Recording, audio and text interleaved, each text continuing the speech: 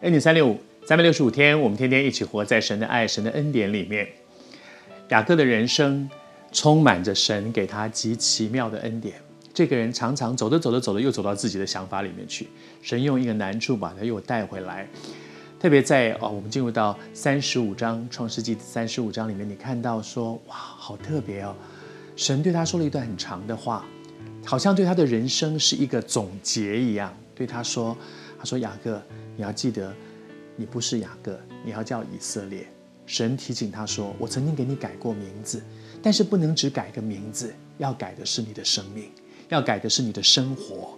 你要记得，不要再靠自己抓抓抓，你要在你的人生当中懂得，你真正要抓住的是抓住神，因为他才是真正的祝福，他才是那个万福的源头。”然后神对他说：“我是全能的神。”你不要再看你人生当中所遇到的这些琐碎的小事，你要看到你的生命里有一个大事，那个大事是我对你的命定，说你会生养众多，然后会有一族，会有多国从你而生，而且有君王从你而生。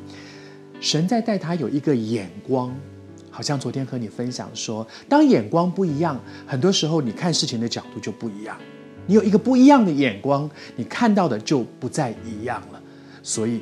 接下来，神对他说：“他说我所赐福给亚伯拉罕、给以撒的，我也一样要给你，要给你的后裔。”在这件事上，我觉得有两个很重要的、很两个很重要的一个教导。第一个部分就是，神拣选的是不止一个人，神拣选的是一个家族。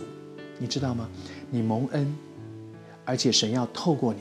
让祝福进到你的子子孙孙，你是从你是承接的。也许你的角色像亚伯拉罕一样，你是你的家族当中第一个被拣选的；也可能你和我一样，我可能是第三代的基督徒，我在一个蒙福的家族当中。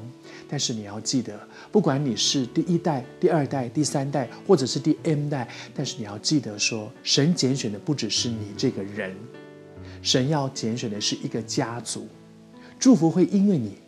如果你是第一代，祝福要因为你进到你的父母的生命当中，祝福要因为你进到你的兄弟姊妹，祝福要因为你进到你的另外一半，进到你的孩子们的生命里面，而且是一代一代的传承的。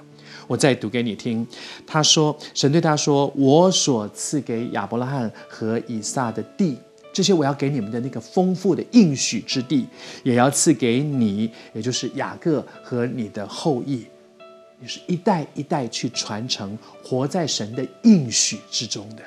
求主提醒我们，在上帝的恩典里面，我们这个家族是蒙恩的，是一代一代传承的。即便家族当中现在也许有一些人还不是基督徒，你迫切的为他祷告，总有一天神会做成他的功，而且你会发现神的应许一定会成就。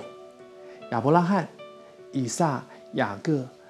这里面所提到的将来有一族有多国，他们都没有看到，但是神一定会做成，神一步一步的会做成。有君王从他们而生，他们完全没有看到，但是信心是我相信神的应许一定会成就在你身上，也在你的家族里面。